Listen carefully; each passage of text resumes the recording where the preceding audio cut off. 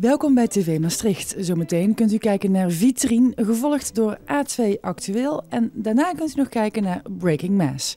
Maar eerst het nieuws met Caroline Hermans. Wat betekent halvering Ryanair-vluchten voor Maastricht-Agen Airport? Wereldvoedseldag en sporten voor senioren. Dag dames en heren, dit is het nieuws van donderdag 16 oktober.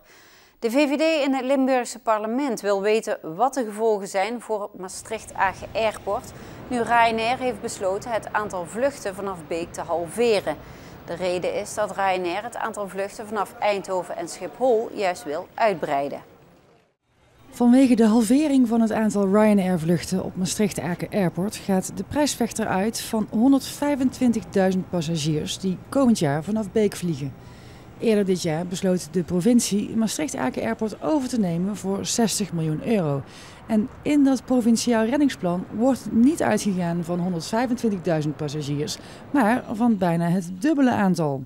Dit zou betekenen dat 110.000 passagiers door andere luchtvaartmaatschappijen vervoerd moeten worden. De VVD-fractie wil weten of dit haalbaar is en wat de gevolgen zijn van dit besluit van Ryanair voor de werkgelegenheid. Ook is de vraag welke vluchten er eigenlijk geschrapt worden. Voor ons moeilijk voor te stellen, maar 2 miljoen mensen wereldwijd gaan s'avonds met honger naar bed. Als je iets aan de honger en wereld wil doen, dan kan dat door zelf minder vlees te eten. En hoe dat werkt, legt het Mondiaal Centrum vandaag op Wereldvoedseldag op de markt nog maar eens uit aan omstanders. Ja, ik zal, de, zal ik nog even de bonen wat zichtbaar maken? Het is eigenlijk zo dat voor de productie van 1 kilo vlees, zeker rundvlees, er is 8 kilo aan plantaardig voedsel nodig. Dat is voedsel wat ook mensen kunnen eten. Ook arme mensen eten dat juist. De bonen, de graan, de soja, de, de mais. En nu wordt dat als diervoer gebruikt. En dat betekent dus dat je eigenlijk een verlies van 7 kilo aan voedsel in de wereld hebt. We zien in de wereld dat in de middeninkomenlanden, dat er dus steeds meer ook rijkere mensen komen, maar ook armere mensen nog steeds wonen. En dat die rijkere mensen om vlees beginnen te vragen. De wereldbevolking groeit. En dan zouden we dus eigenlijk allemaal toch iets minder vlees moeten gaan eten, zodat er meer voedsel overblijft, basisvoedsel als graan en soja, waardoor de prijzen niet extreem gaan stijgen voor de arme mensen. De Maastrichtenaar en sporten, het blijft een lastige combinatie. Uit onderzoek blijkt dat ruim 40% van de Maastrichtse 50-plusser niet voldoende beweegt. Daarom komt de gemeente met het actieplan Sportend Vitaal Ouder Worden.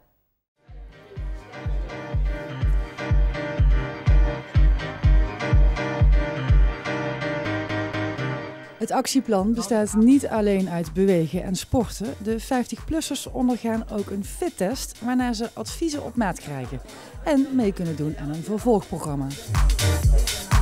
De personen die kunnen deelnemen aan een 12 weken vervolgprogramma. We hebben een vraag bij de deelnemer hier neergelegd wat hij graag zou willen doen. Daarbij hebben we een aantal eh, beweegprogramma's opgesteld samen met de Stichting Samenwerkende Fitnesscentra Maastricht en diverse verenigingen uit Maastricht. Uh, na 12 weken programma gaan wij dezelfde test nog een keer doen. Om uh, aan te kunnen tonen dat er een verbetering heeft plaatsgevonden in de algemene gezondheid van de deelnemer. Waarom doet u mee aan deze fittest? Nou, omdat ik iets aan het sporten wil gaan doen om het spieren te versterken. Dus vond ik het een goede gelegenheid om te kijken wat voor mij geschikt is. 40% van de 50-plussers beweegt dus te weinig. De 60% die wel genoeg beweegt, voelt zich fitter en gezonder. Uit landelijk onderzoek blijkt zelfs dat ouderen die bewegen langer vitaal en zelfstandig blijven. Aan de gang dus. Ondanks het tegenvallende bezoekersaantal dalen de inkomsten van het Geuselbad niet. En dat komt doordat er meer verdiend wordt met aquagym, babyzwemmen en zwemlessen dan gedacht. Dat zegt wethouder André Willems. Hierdoor blijven de inkomsten gelijk, ondanks het afnemend aantal bezoekers. In mei 2015 is de eerste evaluatie van het Geuselbad. OBS De Kring doneerde vanmiddag een geit aan kinderboerderij De Heeg. Haar naam is Bella en vandaag werd ze voorgesteld aan de kinderen van de basisschool.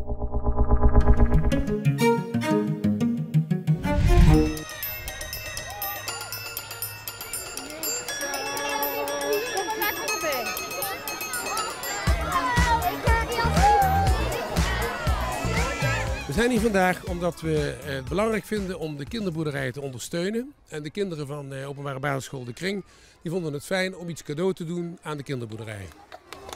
Ik wil nu op dit moment de geit Bella aan u voorstellen en aan de kinderen.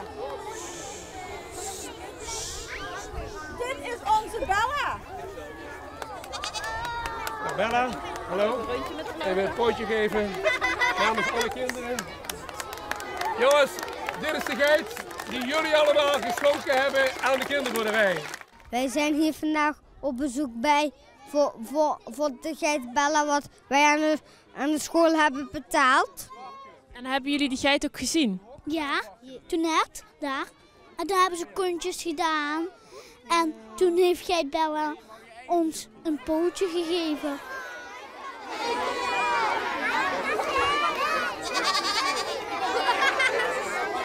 Jullie hebben Bella geadopteerd. Wat betekent dat? Nou, dat we in elk geval uh, zorgen uh, voor de aanschaffen van. Want de kinderboerderijen in Nederland die zijn uh, over het algemeen in deze tijd toch wel noodlijdend. Want het, het, kost heel veel geld en het is allemaal afhankelijk van subsidie. Dus we hebben gezegd, we doneren die geit.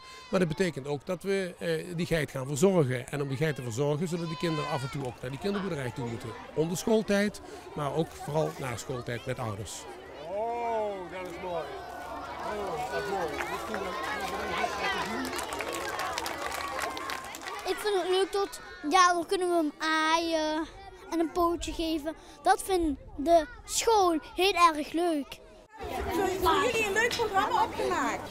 Daar laten we een aantal van onze dieren trucjes doen. Dat kunnen ze hier namelijk. Want we hebben hele slimme dieren. En nou is er een heel programma rondom uh, de komst van Bella. Wat kunnen de kinderen vandaag doen? Ze kunnen kennis maken met de kinderboerderij voor zover ze dat nog niet hadden gedaan. En ze, er zijn allerlei activiteiten georganiseerd. Ze kennis kunnen maken met de verschillende dieren, met de tuinen die er zijn, de mensen die er werken, verzorgen van dieren, uitmesten van stallen, kijken een dierhotel maken, fantaseren over hoe hun ideale kinderboerderij eruit ziet. Dus er is voor vierjarigen, maar ook voor twaalfjarigen een heel programma opgezet.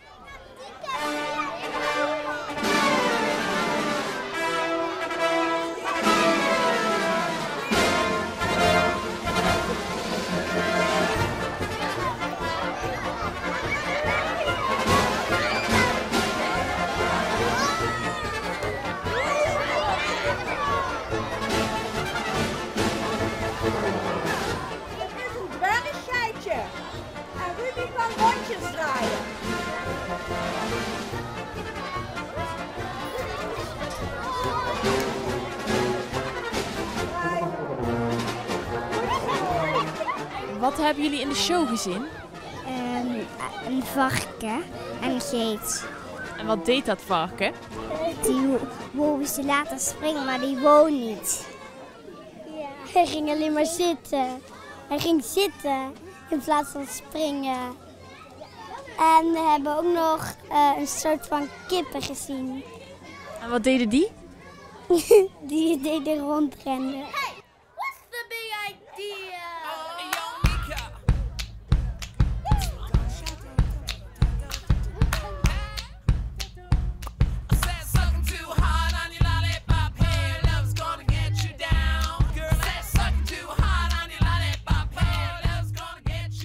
Welke geit heb jij getekend? Um, die bruine daar.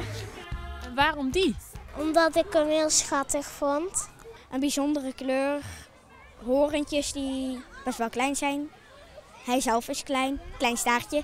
Best wel grappig. Ik heb een zwarte getekend. Een witte. Ja. En nog een witte. En eentje zonder horens. Welke geit heb jij getekend? Uh, die bruine daar en uh, daar die kleine, die met die lange haren, die zwart-witte. Lukt het een beetje met tekenen? Nee, niet echt. ik maak me wel heel vaak achter hem aan. Want hij loopt het weg. Maar ik ren niet, want dan worden ze bang.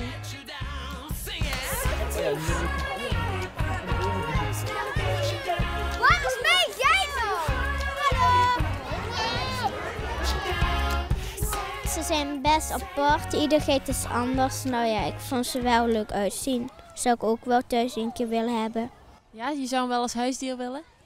Ja, ik heb al een poes, maar ik wilde nog wat vissen, maar dat ging niet echt goed, zeg maar.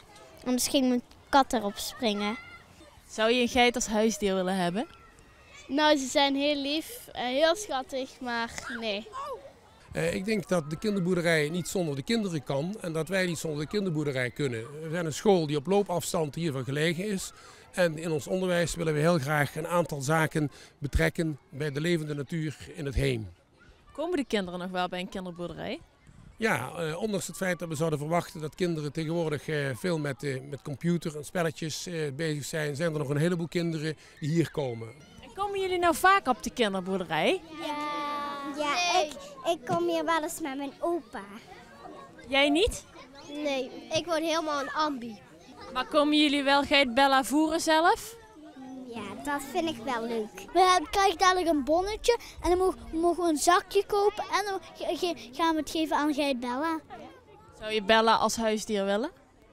Eh, nee, want dat is een wild, dat, wat, die hebben wij zelf betaald. En trouwens, geiten zijn niet om te houden. Bij jou thuis ook niet? Nee. Nou, want ja, dan gaat hij iedereen zo... dood, hè? Gaat hij meestal dood? Ja. Bedoelt mijn vriend Joep. Ja.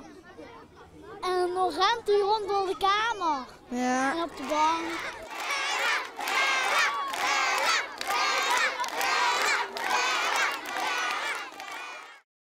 En tot zover het nieuws van vandaag. Na de reclame kunt u nog kijken naar Vitrine, A2 Actueel en Breaking Maas. Programma's ziet u terug via onze Facebookpagina of op rtvmaastricht.nl.